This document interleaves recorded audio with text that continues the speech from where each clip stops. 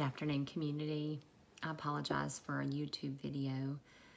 I really wanted to see you face to face to speak with you about these things. However, I just don't think it's practical over the holidays for us to try to schedule a parent meeting. So I'm having to come to you via YouTube. I'm very thankful for that, but I do wish I could see you face to face and talk with you about these things. I wanted to let you know that I spoke with the ministers at Temple today. I apologize that I have not done this before now, um, gotten with them and explained to them the heart of our ministry, but I did meet with them today, and it was a very good meeting. They were very um, honest with me. They were very open with me. They shared with me the heart of Temple and what their ministry is, and they listened to me while I talked about classical conversations. Um, they they really want to make it work with us. They want um, to be the facility that we meet in. They want to provide us with what we need. However, if if it's not working out, we will just not not be there. But we are going to finish this year out there, and we're going to try to change things up a little. So I'm coming to you now with um, a hard message, but um, one that, that I don't want to share, but one that I think is necessary. I'm a people pleaser. I don't want to come down hard on anyone. However, it is it is time to to bring um, our community back in line with what it should be. And the reason we're there is to know God and make Him known. We um, aren't there to let our kids have a good play date. We aren't there to visit with our friends.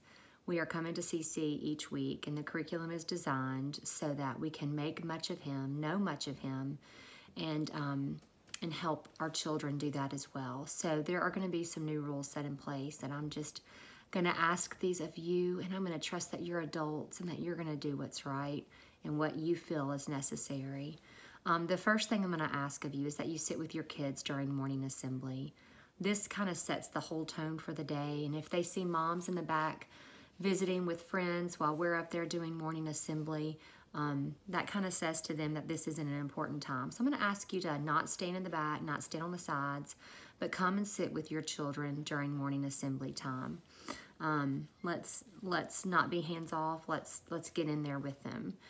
I'm going to ask that you limit your time visiting in the hallway. I know that there will be those Mondays when you just need to unload um, a burden onto someone else and be encouraged by someone else.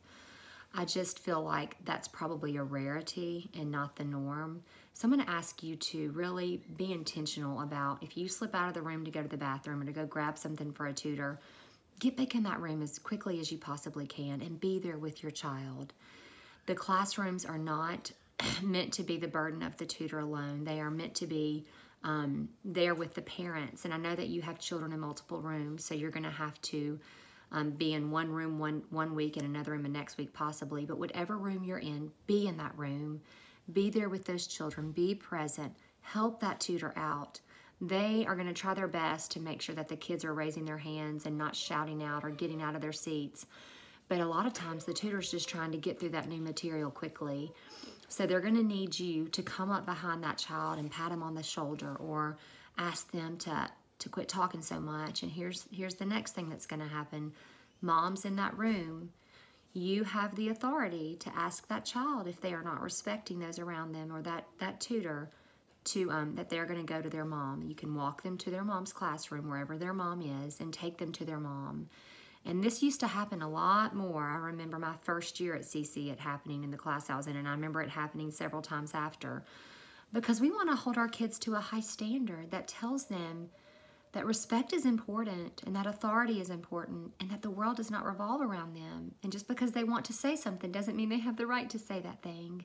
And I know that sounds cruel and harsh to an extent, but it's what's necessary, especially when you have eight kids in a classroom who all want to share their thing. So we're going to ask our kids to raise their hands, to not shout out. We're not going to punch each other. We're not going to wrestle with each other. We're not going to sit on the floor and roll around. We're going to act um, respectfully to those around us and we're going to compose ourselves. And if your child is not able to do that, then they will be sent to you just until you're able to um, speak with them about how um, classroom behavior should look. And again, this is not about hurting anyone's feelings. This is about us loving our children well and not pandering to them. So this is going to be a new rule that's employed, and I hope that um, I hope that you see it coming from a place of love and um, and respect for you and for your household and respect for for CC and for Temple. Um, I'm also going to ask uh, a little bit slightly different, um, slightly different, a very different. There's going to be a very different um, lunch time. So we are now going to be having lunch in the refuge. I'm not sure if tables will be set up for us yet or not. It may be that we have to set our own tables up. A lot of communities do that. Ours is blessed by Temple's um, custodial staff because they set all, all of our stuff up for us usually, but I'm not sure if they're going to set the tables up for us in the refuge. However, we are sharing the refuge with the challenge classes, which means about 100 of us are going to be down there. We're going to try our best to make this work, and if this doesn't work, we'll come up with a plan B. For now, this is what lunchroom time is going to look like. At 11:45, your child's tutor is going to have all the children in their classes um, collect all their belongings and sit against the wall. I know this is going to sound kind of odd for those older kids, but this is how it's going to have to look. And then the parent, you, you as the parent will walk from class to class gathering your children. You will then take your family with you down to the refuge to eat lunch. And if they would like to go outside, then you will take them to the field. Or if another mom says, hey, I'm gonna take my crew out, do you, does anyone wanna go? That mom is then responsible for all those children. We're no longer gonna have a field duty mom. It was getting crazy. Kids were going down on their own without those moms. They were coming up sometimes without the mom. That didn't happen as much, but kids did go down without moms a lot. Um, and so we're just, we're going to have to do away with that. It's going to be you walking your kids physically to the refuge. Your kids will eat in the refuge. They will play in the refuge. If they want to go to the field, like I said, a parent can then take them to the field. And then at about 12:45, we're going to clean up the whole refuge. We're going to go through and pick up trash and and cups and everything else, clean up the refuge completely, and then you will walk your child back upstairs for Essentials Childcare, and I'll get to that in a minute for those of you in Essentials. So your child will never run ahead of you. They're not going to be behind you. They are going to be around you as you walk from the refuge back upstairs and we are going to have to walk by offices both ways. So we're going to need our best to be quiet. They've asked that we not run at all in the hallways so we're not going to run upstairs in the b building. We're not going to run to the refuge. If your child wants to run which most of them do they will just need to go outside to do that. And i don't think that's unreasonable at all. I think that's a safety concern and i think that's a best practice for indoors so we're going to honor temple's request for that the other thing that they've asked is that all of our foundation's children be accompanied to the bathroom, which will mean that probably your tutor will decide to take their whole class to the bathroom once um, once a class period. And I think one time is enough for these kids.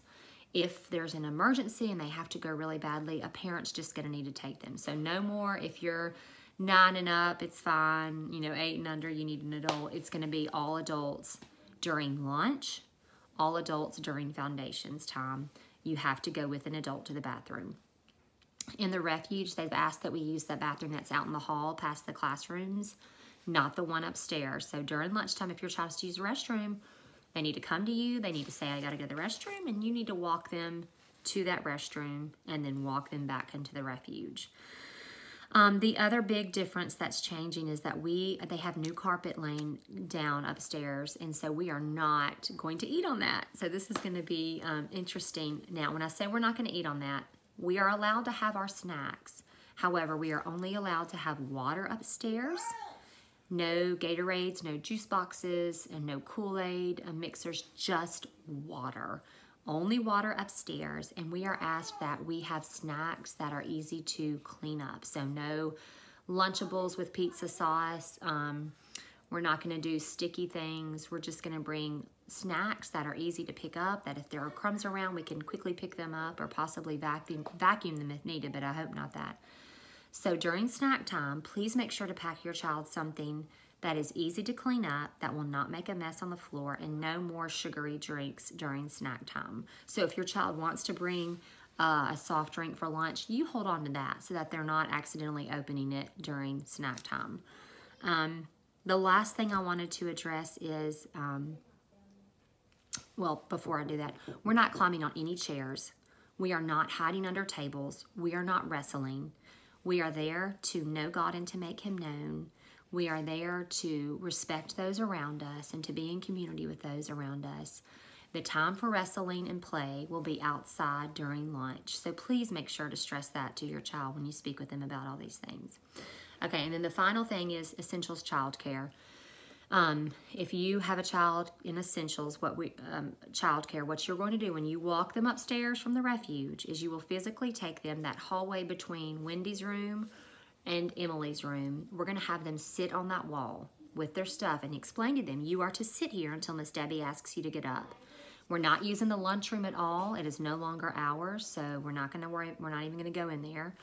Um, and you will sign your child in, and then um, you can go to essentials and then when you come back at about 2.50 debbie's going to do the same thing she's going to start asking the kids to gather their belongings and to sit against that wall so that at 3 o'clock when you release from essentials you will then um, go and get your child sign them out and you will walk them out so they're not going to be running around playing in one of the classrooms for you to go get them everybody will be sitting against that wall um, so I think that these changes are good for our community. I think our community is in need of some reining in. I apologize that I have let it get this far. I, I fear of man has driven me to make some poor choices, and I apologize for that.